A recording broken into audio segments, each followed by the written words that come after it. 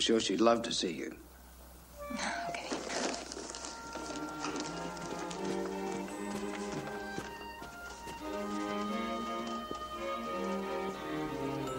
Soft, isn't he? Softer than anything. You want to know how to keep him real happy? Yeah. Well, you give him lots and lots of love. And you hug him.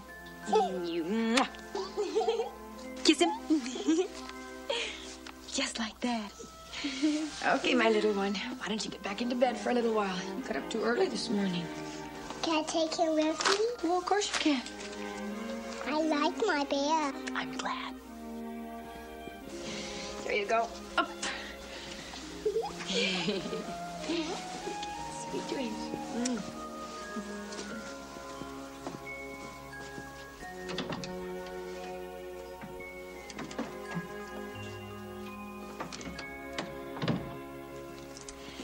Leslie, what you just told Krystina about loving and, and holding on, your father loves you. And I think you want to love him back. I can't just forget about the years without him. What about the years to come? I saw the look in your eyes at dinner. Both of you. I think you need each other. Yeah. Ben Carrington needs someone. That's why you're here, isn't it? To find out? Leslie, why don't you move in with us? With him in the same house? I think you owe it to yourself to find out. Besides, you're part of the family now. Think about it, all right? I will.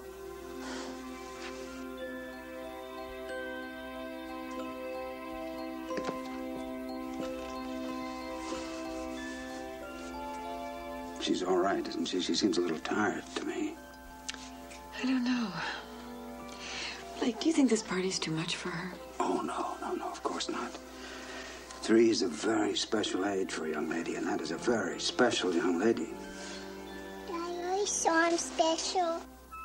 You're up. Why do I? Am I sure that you're special? Of course I am. Then will Humpty Dumpty be at my party?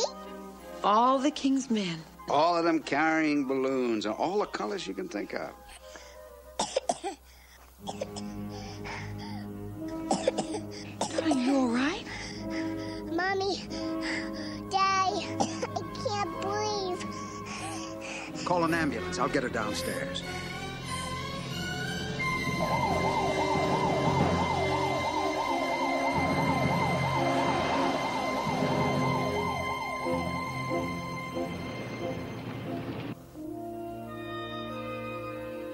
That's a ghost. Just a little longer, darling. Can you take another big breath for me, Krystina? Good girl. Was this sudden? Has she been feeling all right lately? Well, she's had a little cough lately. But no fever. We've kept a pretty close watch on her, Doctor. Mm. Something tells me you got so excited about your birthday that you couldn't catch your breath. It's a big word called hyperventilation.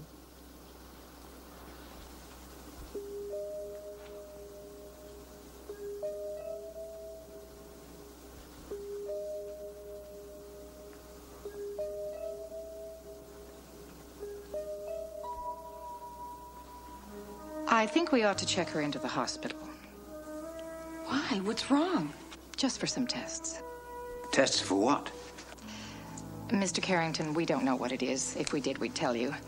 But I think we should keep her here for a few days under observation. Mommy, why do I have to stay here?